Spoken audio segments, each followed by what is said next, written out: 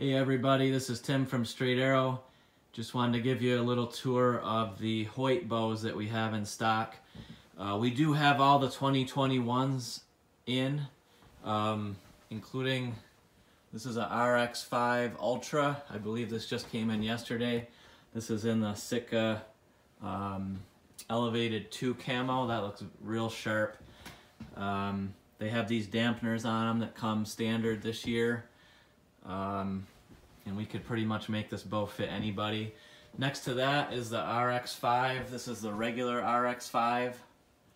This is also their new uh, Wilderness Green color. Again, these uh, 2021s come with the dampeners. Super quiet, really quieted them down uh, from previous years.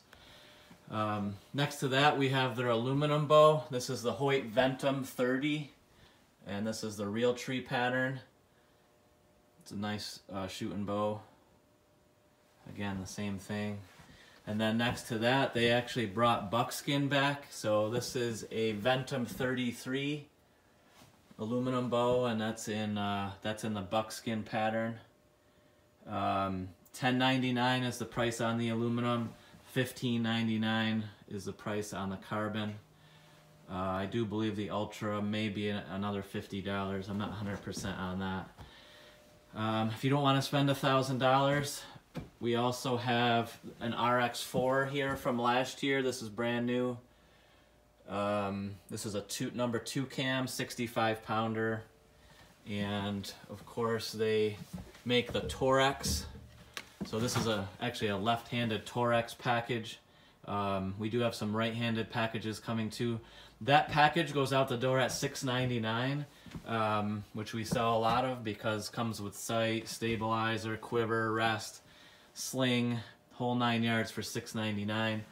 Um, we also have a Torrex XT. Uh, that's bare bow, $6.99.